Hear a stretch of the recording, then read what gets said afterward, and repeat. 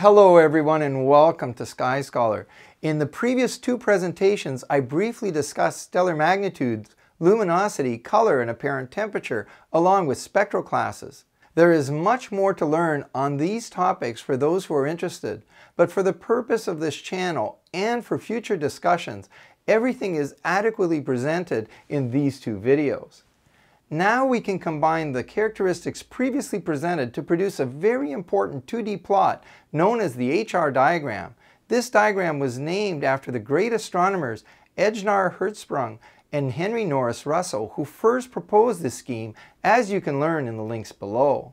The theoretical HR diagram involves a plot of temperature against luminosity, whereas the observational HR diagram constitutes a plot of color versus magnitude.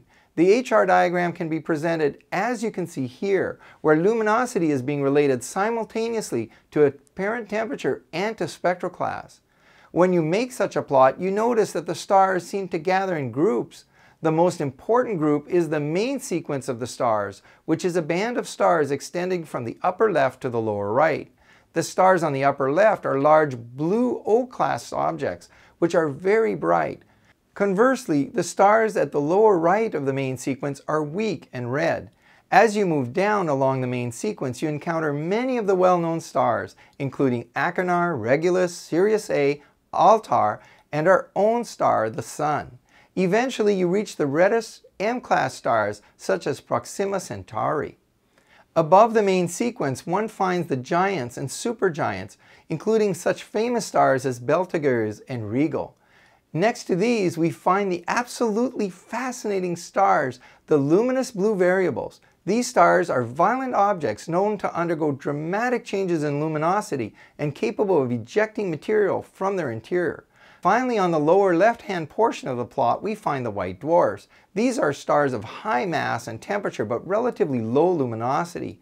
Again, they are amongst the most fascinating stars in the sky, and we will return to these in a future video.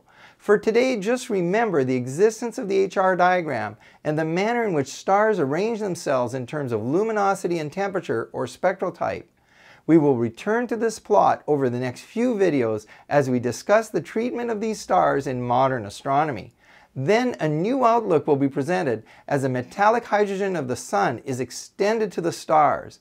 In closing, if you enjoyed the video today, promote the channel mention the video to your local astronomy club, support me with a like and subscribe for more videos as we look more closely at the sun, the stars, and beyond.